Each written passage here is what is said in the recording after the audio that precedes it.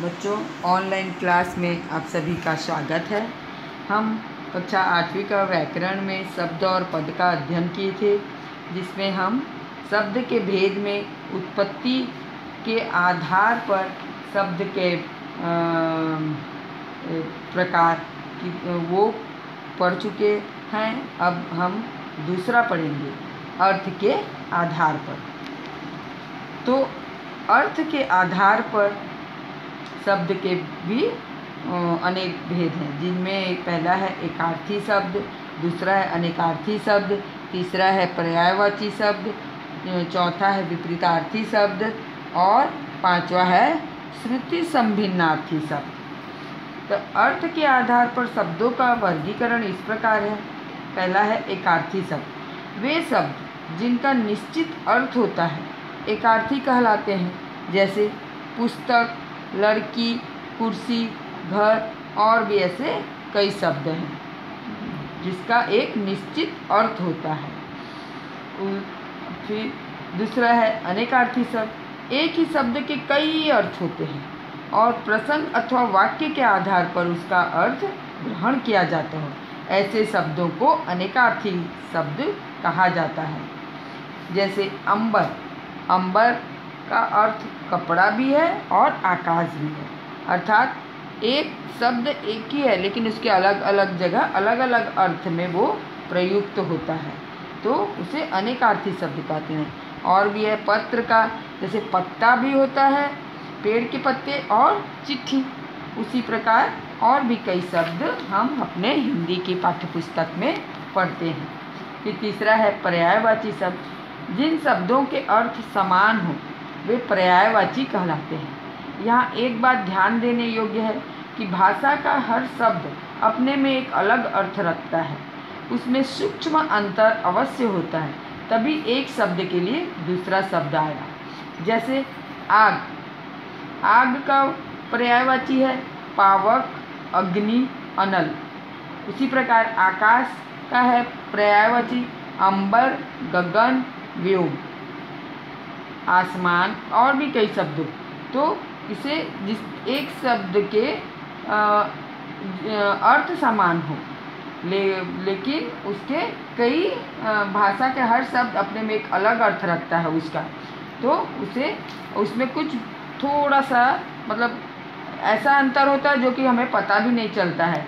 तब उसे पर्यायवाची शब्द कहते हैं। फिर विपरीतार्थी शब्द। एक दूसरे के विपरीत अर्थ रखने वाले शब्द उसे विपरीतार्थी शब्द कहते हैं और विलोम शब्द भी उसे कहते हैं। यानी ठीक उसका उल्टा, जैसा कि दिन का रात होगा, झूठ का सच होगा, ज्ञान का अज्ञान होगा, उसी प्रकार और भी बहुत से शब्द हैं जो कि ठीक विपरीत होते हैं, उल्टे होते हैं विलोम होते हैं, उसे विपरीतार्थी शब्द कहते हैं। फिर है, श्रुति संभिन्नार्थी शब्द। वे शब्द जो सुनने में एक समान लगे, लेकिन उनके अर्थ अलग अलग हों, श्रुति संभिन्नार्थी कहलाते हैं। जैसे अन्न, अनाज, अन्य, दूसरा, अवधि, अवध की भाषा, और एक अवधि, समय सीमा। ये सुनने में एक समान लगते हैं, लेकिन उसके अर्थ अलग अलग होते हैं। तो इसीलिए उसे कहा गया है श्रुति संभिन्नार्थी शब्द अच्छा ये हो गया अर्थ के आधार पर शब्द शब्दों का वर्गीकरण। फिर है तीसरा, प्रयोग के आधार पर। प्रयोग के आधार पर है विकारी शब्द और अविकारी शब्द। जब भाषा में शब्दों का प्रयोग होता है तब व्याकरण दृष्टि से वे जिस कार्य के लिए बने हैं, उसी के अनुसार उन्हें संज्ञा, सर्वनाम आदि रूपों में समझा जाता है। इसी आधार पर शब्दों को दो भागों में बांटा जाए। पहला है विकारी शब्द। जिन शब्दों में लिंग, वचन, काल आदि के कारण विकार अर्थात परिवर्तन आ जाता है, उसे विकारी शब्द कहलाते हैं। जैसे लड़का से लड़के, लड़कों आदि रूप भी बनते हैं। संज्ञा सर्वनाम विशेषण क्रिया विकारी शब्दों के अंतर्गत ही आते हैं। लिंग वचन काल के अनुसार शब्द में परिवर्तन होता है उसे विकारी शब्द कहते हैं। फिर दूसरा, अविकारी शब्द। जिन शब्दों में लिंग वचन, काल आदि के कारण कोई बदलाव नहीं आता, हर परिस्थिति में एक ही रूप में प्रयुक्त होता है, वे अविकारी शब्द कहलाते हैं। इन्हें अव्यय भी कहते हैं। क्रिया विशेषण समुच्चय बोधक संबंध बोधक विस्मयादि बोधक और निपात अविकारी शब्द होते हैं। जैसे, जहाँ लगभग न तब यदि तो लेकिन, के बिना, जल्दी और भी बहुत से शब्द हैं जिसमें किसी भी समय बदलाव नहीं होता। उसे अविकारी शब्द कहते हैं तथा अव्यय भी कहते हैं। ये हो गया प्रयोग के आधार पर, शब्दों का वर्गीकरण फिर है। चौथा रचना के आधार पर। पहला रूढ़ शब्द, दूसरा यौगिक शब्द और तीसरा योग रूढ़ शब्द। शब्द कैसे बने? शब्दों की रचना अर्थात निर्माण के आधार पर शब्दों को इस प्रकार बांटा जा सकता है।